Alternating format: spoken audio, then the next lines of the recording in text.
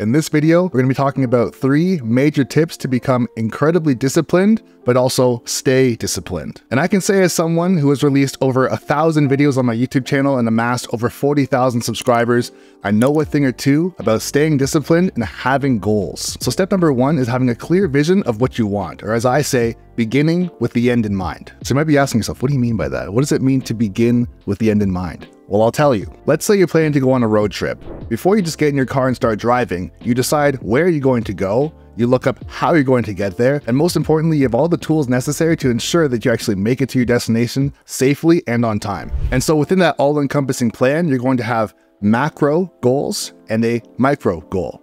That macro goal is to get to your destination. But of course, you have to ask yourself, well, how am I going to do that?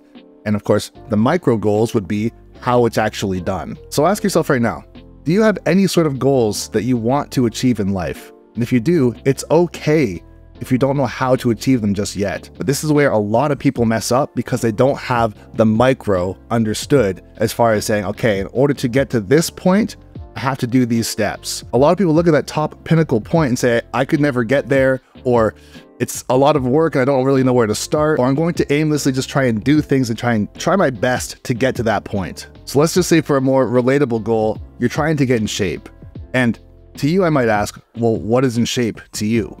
This is a super important question to have answered because if you just say, I want to get in shape, you might go to the gym, you might try and be health conscious with your food, but you're not really aiming for anything. So honestly, answer that question for yourself. Is it gain a certain amount of muscle, lose a certain amount of weight, be able to push a certain amount of weight in the gym, have a certain level of cardio? Answer the question truthfully for yourself. And then once you've answered that question, go backwards and say, okay, well, what does it actually take to get there? What does it mean to actually get to this goal?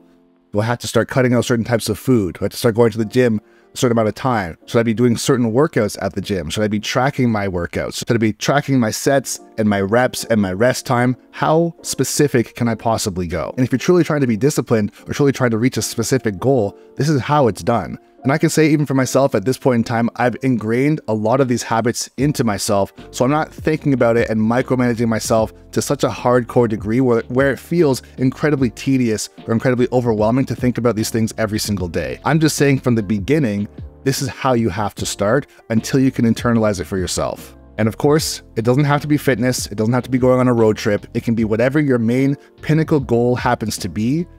Look at the very top and then work your way backwards. This is gonna be step number one to make sure that you can stay on task and stay disciplined. So step number one is we have our goals and we have our roadmap, but step number two is our mentality. And this is super, super important.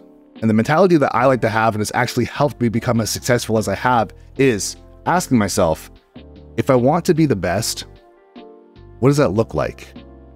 People that are in my industry already that are the best, what do they do?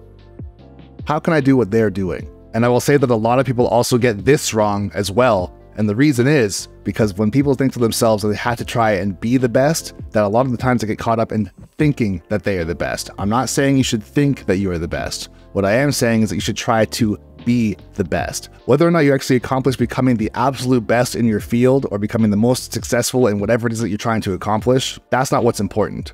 What is important is that if you are to truly try and be the best, you are going to have an insane amount of discipline to make sure that you're staying on task with everything that you're trying to accomplish. Because here's the thing for anyone who is truly the best at whatever it is that they are doing, they have a certain presence about themselves. They have a certain way that they carry themselves. They have this certain level of discipline where wherever the average person would say no, or I'm too tired, or this is too difficult, the successful person or the person that's trying to be the best says, how do I get this done? I don't care how long it takes. I'm going to finish this. I don't care if I'm not good enough yet. I'm going to get good enough. You have to put yourself in the mindset of, I don't care how good everybody else is. I just want to know what the record is. Whatever the record is, I'm aiming for that. Whether or not I actually get there, I'm going to do everything within my power every single day for as long as it takes to get to that point. And tip number three, in my opinion, is the most important, is accountability. If it's to be, it's up to me, which means nobody is going to push you to do anything. Discipline comes from within. So it doesn't matter if you're tired, it doesn't matter if you're burnt out, it doesn't matter if you're feeling sad, Your emotions literally do not matter whatsoever when it comes to your discipline. And I say this because if you've ever been part of a sports team or if you've ever been in the military, no one cares how you feel. You're here to perform a job, and that is it. And I will say, in the realm of being part of a team, of course, there are people that are going to count on you. But when it comes to real life, why is it that even for yourself, you can perform for other people, but you can't perform for yourself? And I will say it feels difficult because when you're doing everything for yourself, you don't get a lot of validation. You don't get a lot of pats on the back. And that for a lot of people is the make or break as far as continuing with whatever they're trying to pull off in life, as far as trying to be successful in anything, whether it's their fitness journey, building up their social media, starting a business, it doesn't matter. And so I'll say it again discipline comes from within. You cannot care about the outside forces of other people and allowing them to affect you. People can try and put you in a great mood or a terrible mood. At the end of the day, you have to perform for yourself. This is a very strong mentality trait that I've had for myself for a very long time. If you're someone who's been watching the YouTube channel for the past four or five years, at this point, you know, and you've seen me have my highs and have my lows as far as the performance of the channel, but the consistency of the videos being uploaded, the consistency of the quality of the videos escalating constantly has always been there. Regardless of how people have felt, regardless of the comment section, regardless of my subscriber count. And this is just an example using myself, but if you're truly trying to accomplish something for yourself, it doesn't matter what it is, you have to think in this way. Anyone who has been successful has thought in this way. You have yourself. Having support and having a team or having a family, anything outside of that, that is bonus.